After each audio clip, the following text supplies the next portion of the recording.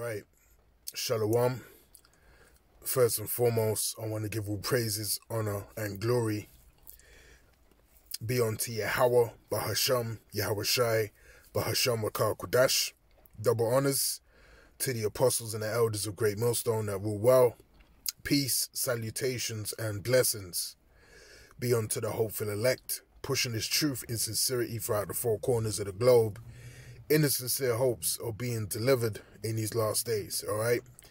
Now, um, I have this this article here that I want to briefly, you know, go into as it's in relation to um um food shortages, all right?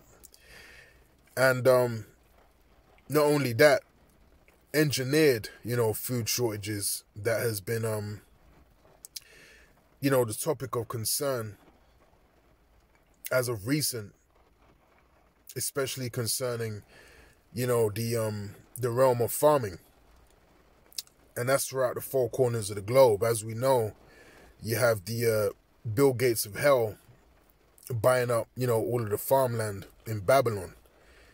And you also have, you know, uproars concerning, you know, UK farmers in response to um, you know, particular policies and laws that are getting ready to be put in place and are being put in place that's gonna heavily restrict their ability to carry out, you know, their job and to um, you know, supply the British public on demand with what they need, all right, which we know this is um in order to, you know, gain control of the food industry, all right? So they really want to do away with, you know, independent farmers. They want everything to be owned through, you know, the um elite governing bodies that dominate, you know, enterprises throughout the four corners of the globe, okay?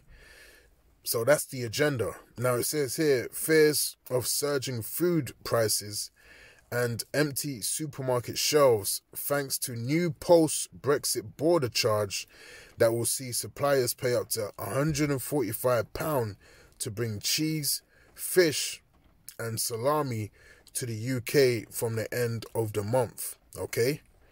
So you got extra payments that are being enforced, really, you know, to act as a deterrent for independent business. Okay?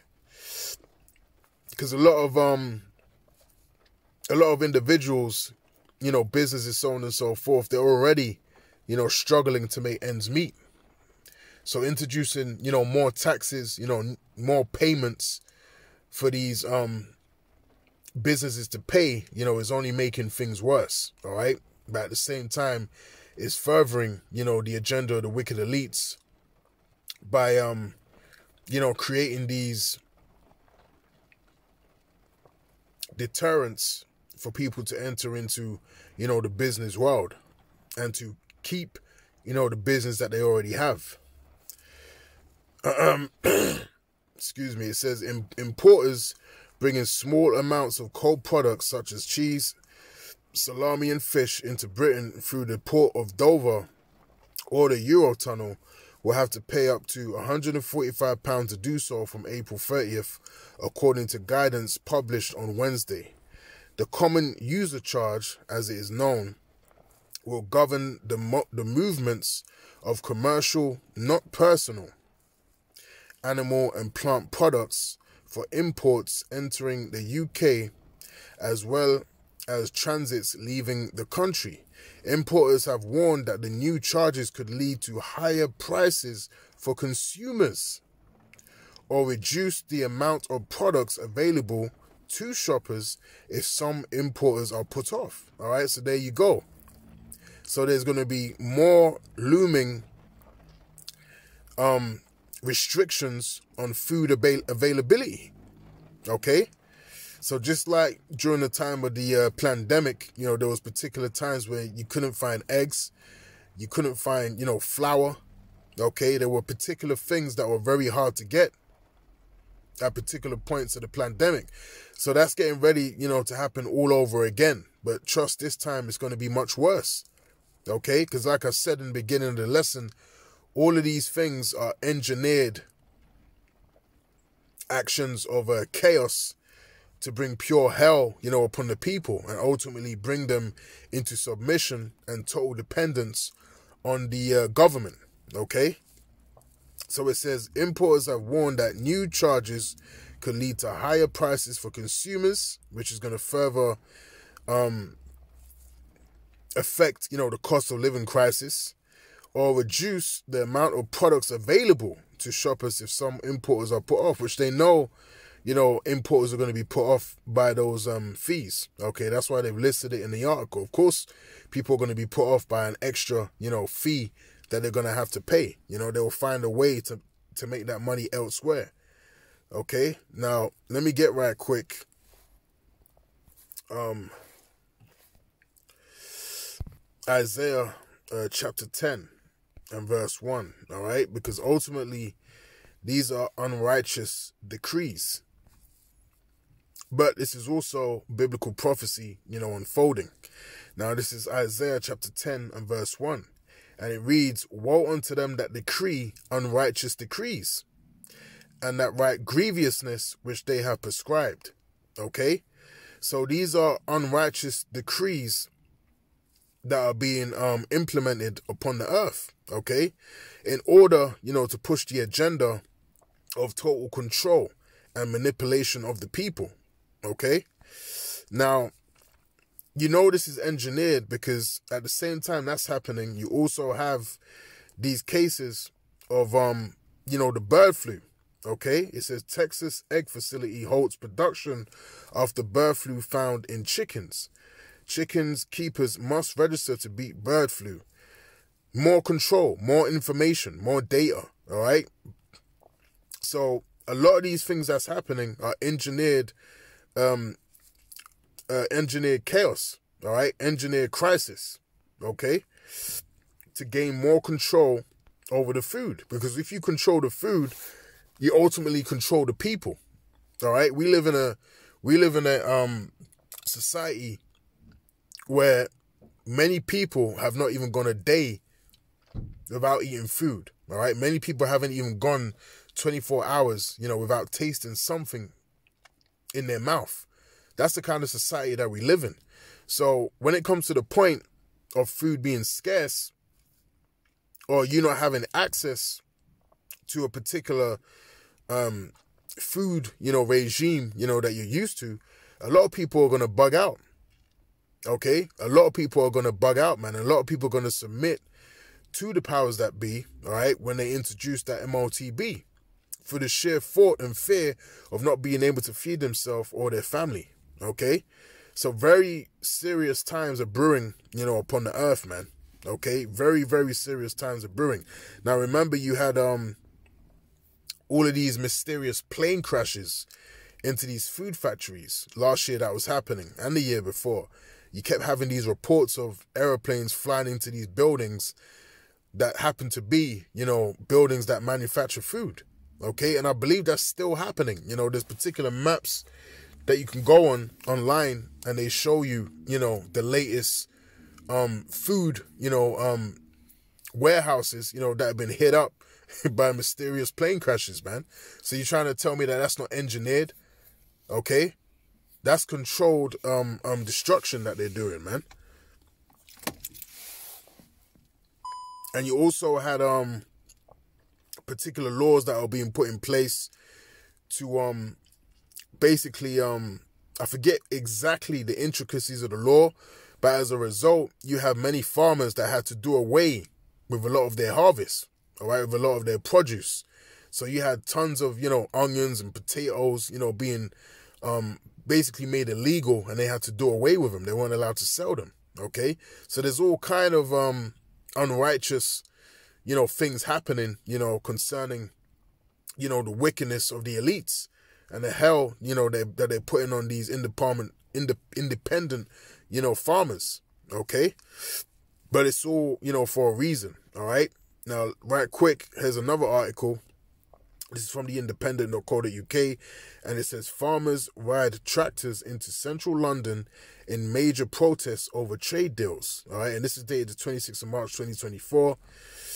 And as you can see here in the video, all right, you had this protest out here in the UK where you had the tractors pull up in central London, you know, to protest the um you know the unrighteous decrees that are getting ready to uh be put in place. All right, you know what? Let me refresh this page because I don't think that was the actual um video. Let's see if it plays it now. All right, here it is. Here's the video. All right, it's playing the advert first. But you know, basically, you know, you had um, you know, these tractors, you know, go to central London and um, you know, basically cause a disturbance, you know, in the form of a protest. All right? Because of, you know, all of the restrictions that are being put upon their business and purposefully, you know, making it hard for them to, you know, operate and to sell, you know, their um their merchandise. All right. All right, so it says tractor riding farmers. Let me get rid of this. Tractor riding farmers have descended on Westminster to protest against trading arrangements they claim will disseminate British farming and jeopardize UK food security. Okay? So this is what the, the farmers are claiming that these um these trading agreements that are being put in place, they're built to disseminate and to jeopardize the UK food security. Now, why would they want to jeopardize UK food security? So they can take control. Okay? So whenever you get food, okay, whenever you want something, you will have to go to you know these um huge corporate enterprises, man. Okay, you you won't be able to go to your independent farmer and buy your you know organic chicken or organic milk, so on and so forth. That's going to be a thing of the past. Everything you get is going to be from from a governing body. Okay, and that's the new world order system. Now it says campaign groups say British farming and fairness for farmers of Kent have assembled a go slow convoy around Parliament with organizers expecting 50 to 100 tractors as well as other farm vehicles. All right, so that's what's going on. All right, I'm not going to get all up into this article. Lord willing, I'll post them in the description box, you know, so you can um go into it yourselves. But hey, just to highlight, there's there's some heavy things happening upon the earth, man, and before you know it, it's going to be affecting you know your everyday life. All right. Now this is Second Esdras chapter 6 and verse 22. And it reads, And suddenly shall the sown places appear unsown. The full storehouses shall suddenly be found empty. Okay, so this is biblical prophecy, and through many different ways and means, all right, they've caused this to happen upon the earth. Okay, and they're going to continue to cause this to happen to force you people into subjection. Okay, you're going to carry on to see food shortages. You're going to carry on hearing about warehouses being empty.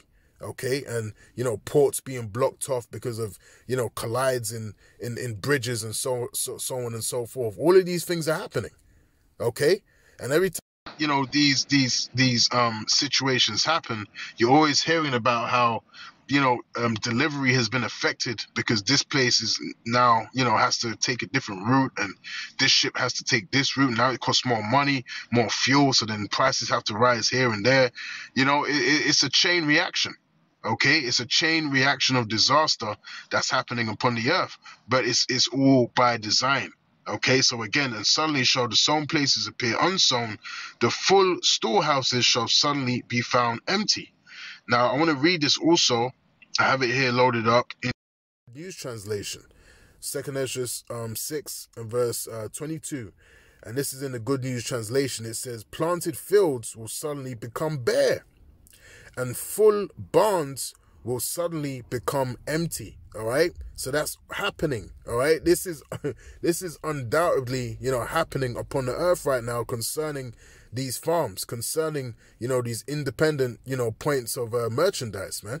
Okay, it's happening.